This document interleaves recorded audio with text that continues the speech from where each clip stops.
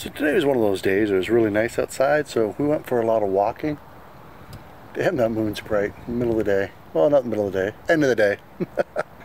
it's almost a shame to have to go in and make a video, but I'll do it just for you guys. Now today we're going to go ahead and install Python. And we want to get familiar inside of Python just so we can actually start coding well, cooler things inside of our Raspberry Pis. Now if you're not interested in Raspberry Pis or Python in general, well, we'll just save the time. You can skip the video now. And, well, there'll be something new tomorrow. But for everyone else, we're going to go ahead. We're going to install Python. The latest version, I think it's 3.6 is what I'm running. And that comes with idle. So we'll go ahead, we'll set idle up. Well, there's really no setup for it. We'll just take a look at idle, some of the things you can do in the command line and in its text editor and then uh, we'll all be set up and at that level playing field for when we start diving into well, more Python things. But anyway, let's go. In this video, we're going to go ahead and install Python. And then after we're done that, we're going to take a look at idle and how to use it for a command line, as well as being able to create actual scripts with it. So go ahead, take your browser of choice, point it over to python.org. Then if you hover over the download link, you can get the latest one for whatever version it detects you're on it's not showing it, just go ahead and actually click the download button. Then you have the option to pick the version you need. For this series, I'm going to be using Python 3, and I'm going to use the latest version of it. At the time of this recording, it's 3.6. Now take note that there have been some releases to earlier versions since then. And if you're really interested, you can head over to Wikipedia and find out why they forked 2 and 3. But uh, for me, I'm just going to stick with Python 3.6. So go ahead and download that. And then once you have it downloaded, make sure to go ahead and install it. Once you have it installed, go ahead and open up idle 3. And this is going to open up your Python shell. Now we see the three little greater than signs. This is just its way of waiting for a command.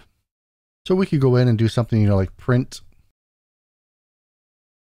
hello world. And sure enough, we get the output hello world. We could also go in and do math.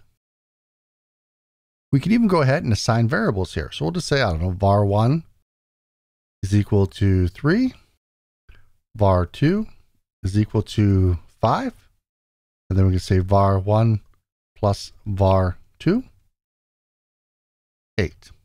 So everything that we do here in the command line, it actually remembers. Now, I don't really like to write my scripts in the command line. So what I'm going to do, I'll move this over here. I'll come up to the file menu and select a new file. And it's going to open up its text editor. And then inside of here, I can actually go ahead and start writing my scripts. So again, we'll just do print. And I forgot my quotes. So again, we'll just do hello world. I am in a script. Let's save that off. And to save it off, we can come up to File and hit Save. Or if we try to run it, which is F5 by default, that allows you to save it automatically. But hit F5, well, let's do it the other way first. Let's just save. And take note of the file name. You can name it whatever you want. In this case, I'm just going to call it Hello World, but the ending is a .py.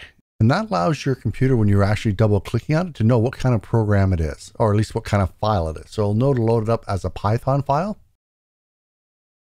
I'm just going to go ahead, put this on my desktop. And we'll save it off. And then depending what program you have to set to open your Python files, if you right click it, open with, depending what you have set as the default, the icon is going to change.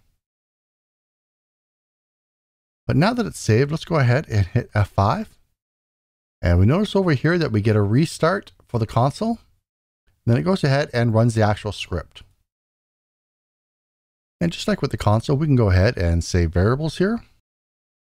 I'll say tax is equal to 0.07, 7%. And I'm going to say total is equal to, let's make it easy, $100. And then we'll go print total times tax. And I already see an error there. Let me just quickly show it to you. So I'll go ahead and F5. It's going to ask me if I want to save the source. We'll save it. I'm missing the parentheses. This is one of the differences between version 2 and version 3 of Python. In version 2, print was a statement. In version 3, it's a function. So for those that have a little bit of programming experience, knows that we got to have a parentheses to pass in parameters. So let's go ahead. We'll run this now. And there we go. It went ahead and it printed out a value. Might not be the exact value you're expecting to see come out, but we'll talk about that in a later video. Today, I just want to make sure everyone is set up.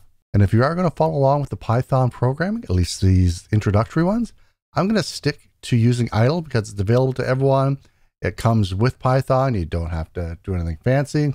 Just install it and it's there. Later on, we'll move to other IDEs. My personal favorites for Python right now is Atom, but I might go ahead and try out Visual Studio. For it. But anyway, there we go. We can now go ahead and create scripts, save scripts. We should have Python installed and we should be ready to go ahead and start delving into Python a little bit deeper so we can start programming those Raspberry Pis a little bit better. Anyway, I'll see you in the next video. Bye-bye. So if you like the video, go ahead and hit that subscribe button down below. It really does help me out here on YouTube. And go ahead and follow me on Twitter. You're a pretty chatty guy over there. When I'm not walking through a forest or being stalked by eagles and falcons lions, tigers, and bears.